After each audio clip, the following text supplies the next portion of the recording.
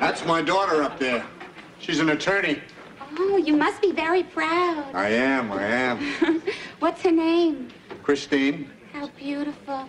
I wish my mother had named me Christine. what'd she name you? Aphrodite.